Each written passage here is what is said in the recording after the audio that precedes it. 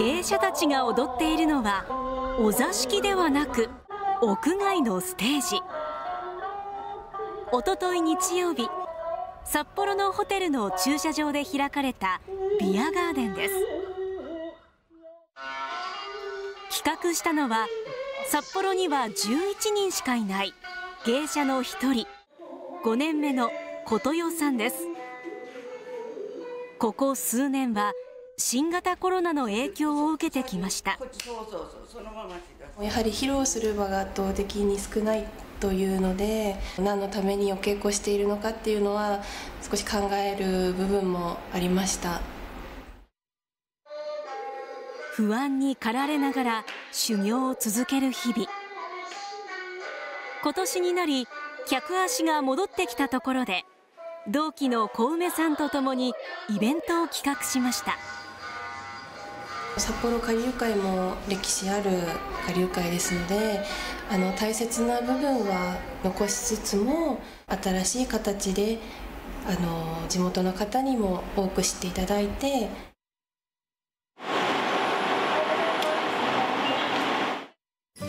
準備や稽古を重ね迎えた当日。ヘアメイクと着付けは一人でします。この日は1時間半ほどかかりました。お着物色違いなんですそうなんです、はい、今日合わせてきたはい。お母さんが決めてくださいます。お母さんと慕う師匠や仲間の芸者たちも駆けつけ2人と共に客をもてなします。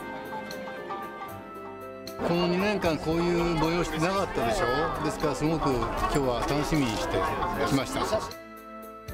縁も竹縄。いよいよ踊りの披露の時間です。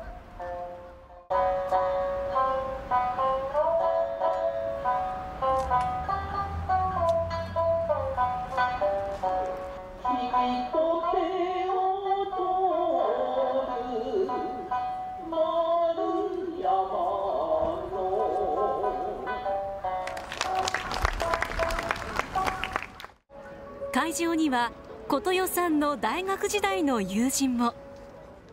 あ頑張ってるんだなっていうのは知っていたんですけどなかなかこれ行ける機会がなかったので来れてよかったです。